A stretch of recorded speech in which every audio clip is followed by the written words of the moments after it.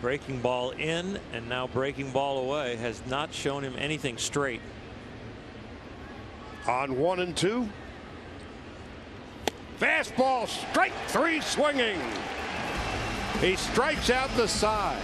He has struck out five in a row and retired 18 in a row. Something doing here in Miami.